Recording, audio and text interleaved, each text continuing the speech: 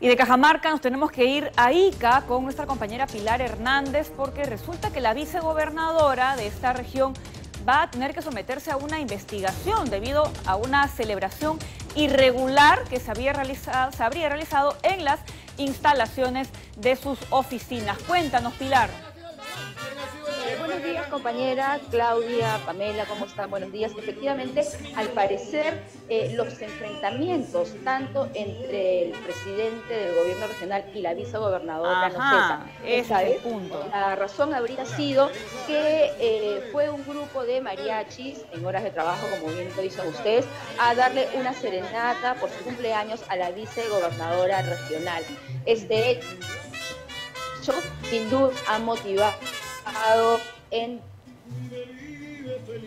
Sí, Pilar, te escuchamos.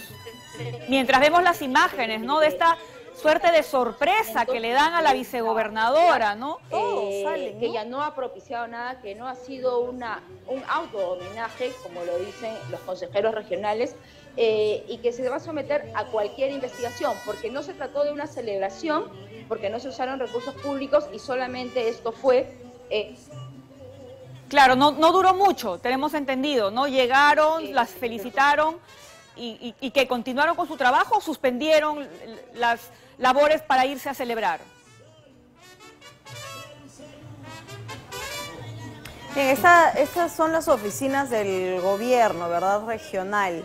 Y ahí está la vicegobernadora sorprendida, saludando a todos los trabajadores. Varias cosas que quedan en el aire, ¿no? Una pena que Pilar este, haya perdido comunicación porque la pregunta que hace Pamela es importante.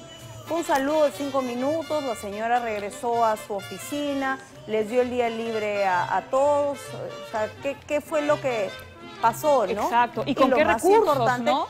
Hicieron una chanchita los trabajadores para poder contratar a los mariachis o salió plata de la caja de, la gobernación. Pero además lo que me señalaba Pilar también es importante. Hay una pugna de poderes pues dentro de eh, la eh, gobernación de Ica, ¿no? Entonces el gobernador está buscando seguramente cualquier excusa para poder... Eh, denunciar ¿no? e irse en contra de la vicegobernadora. Así que también eso es algo que se va a tener que tomar en cuenta. Siete meses, nada más siete meses.